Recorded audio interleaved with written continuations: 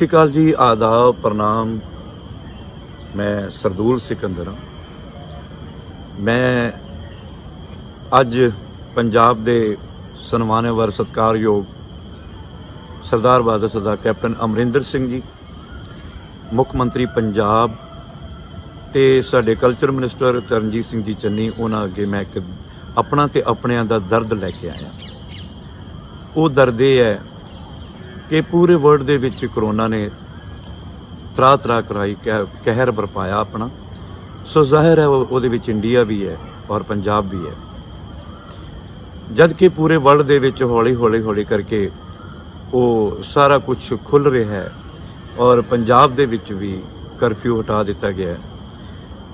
ਸਾਰੀਆਂ ਦੁਕਾਨਾਂ, ਵਰਕਸ਼ਾਪਾਂ, ਹੋਰ ਵੀ ਸਾਰੇ ਕੰਮ ਖੁੱਲੇ ਇਸ ਗੱਲ ਦੀ ਬਹੁਤ ਖੁਸ਼ੀ ਹੈ।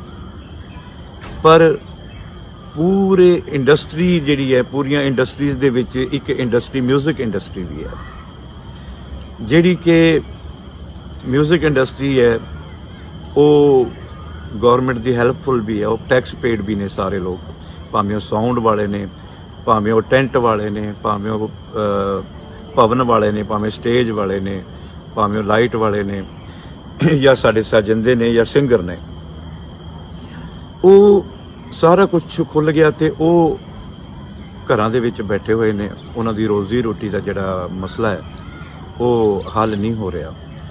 ਉਹ ਇਦਾਂ ਦੇ ਵੀ ਨਹੀਂ ਕਿ ਉਹ ਲਾਈਨ 'ਚ ਜਾ ਕੇ ਲੰਗਰ ਲੈ ਲੈਣ, ਉਹ ਇਦਾਂ ਦੇ ਵੀ ਨਹੀਂ ਵੀ ਕਿਸੇ ਅੱਗੇ ਹੱਥ ਮੰਗ- ਅੱਡ ਕੇ ਭੀਖ ਮੰਗ ਲੈਣ। ਸੋ ਗਾਣਾ ਵਜਾਣਾ ਜਿਹੜਾ ਤੁਹਾਨੂੰ, ਤੁਹਾਡੇ ਤੋਂ ਜ਼ਿਆਦਾ ਨਹੀਂ ਕਿਸੇ ਨੂੰ ਪਤਾ। ਕਿ ਗਾਣਾ ਐਸੀ ਚੀਜ਼ ਹੈ ਕਿ ਸਾਡੇ ਘਰ ਖੁਸ਼ੀ ਹੋਵੇ ਤਾਂ ਵੀ ਅਸੀਂ ਗਾ ਕੇ ਪੂਰੀ ਕਰਦੇ ਹਾਂ, ਸਾਡੇ ਘਰ ਗਮੀ ਹੋਵੇ ਤਾਂ ਵੀ ਅਸੀਂ ਅਸੀਂ ਦੁਖੀ ਹੋਈਏ ਤਾਂ ਵੀ ਅਸੀਂ ਕਈ ਵਾਰ ਗਾਣਾ ਹੀ ਗਾਉਂਦੇ ਹੁੰਦੇ ਹਾਂ। ਔਰ ਲਾਕਡਾਊਨ ਦੇ ਵਿੱਚ ਮੇਰਾ ਖਿਆਲ ਹੈ ਕਿ 60% ਲੋਕਾਂ ਨੇ ਸਾਡੇ ਗਾਣੇ ਸੁਣ ਕੇ, ਹਰੇਕ ਕਲਾਕਾਰ ਦੇ ਗਾਣੇ ਸੁਣ ਕੇ ਇਸ ਲਾਕਡਾਊਨ ਦਾ ਟਾਈਮ ਕੱਟਿਆ। ਕਿਉਂਕਿ ਅਸੀਂ ਗਾਹੇ ਵਗਾਹੇ ਫੇਸਬੁੱਕ ਤੇ ਲਾਈਵ ਹੁੰਨੇ ਆ ਹਜ਼ਾਰਾਂ ਲੋਕ ਆਉਂਦੇ ਨੇ ਫੇਸਬੁੱਕ ਦੇ ਉੱਤੇ ਸਾਨੂੰ ਕਹਿੰਦੇ ਨੇ ਕਿ ਤੁਹਾਡੇ ਗਾਣੇ ਸੁਣ ਕੇ ਅਸੀਂ ਟਾਈਮ ਕੱਟਦੇ ਰਹੇ ਹਾਂ। ਆਰ ਗਾਣਾ ਸੁਣਾ ਦਿਓ, ਉਹ ਗਾਣਾ ਸੁਣਾ ਦਿਓ। ਔਰ ਮੇਰੀ ਬੇਨਤੀ ਹੈ ਕਿ ਕਿਤੇ ਇਹ ਨਾ ਹੋਵੇ ਕਿ ਆਉਣ ਵਾਲੀ ਜਨਰੇਸ਼ਨ ਜਿਹੜੀ ਉਹ ਗਾਣੇ ਵੱਲ ਮੂੰਹ ਨਾ ਕਰੇ। ਆਉਣ ਵਾਲੀ ਜਨਰੇਸ਼ਨ ਨੂੰ ਉਹ ਸਾਜੰਦਾ ਬਣਨ ਵਾਸਤੇ ਮੂੰਹ ਨਾ ਕਰੇ।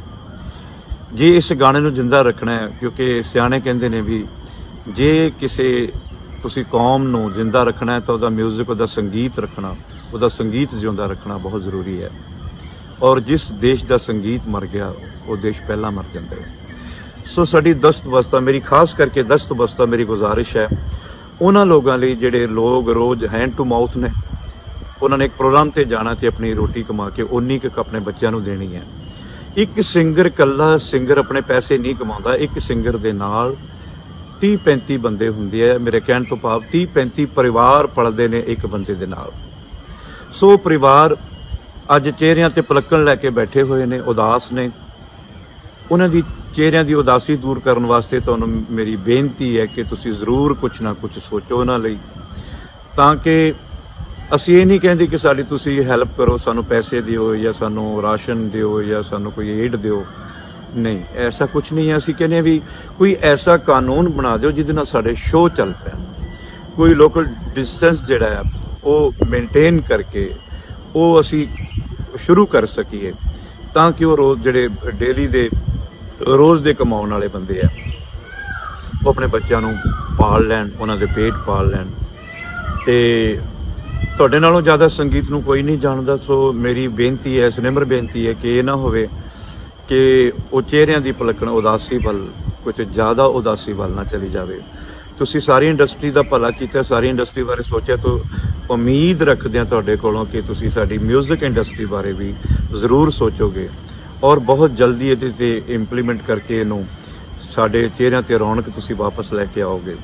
ਜਿਹੜੇ ਮੇਨ ਸਿੰਗਰ ਨੇ, ਉਹ ਮਹੀਨਾ, ਦੋ ਮਹੀਨੇ ਹੋਰ ਕੱਟ ਸਕਦੇ ਨੇ। ਪਰ ਇਹ ਲੋਕ, ਇਹ ਹੈਂਡ ਟੂ ਮਾਊਥ ਨੇ, ਰੋਜ਼ ਕਮਾਉਂਦੇ ਨੇ ਤੇ ਰੋਜ਼ ਖਾਣ ਵਾਲੇ ਲੋਕ ਨੇ।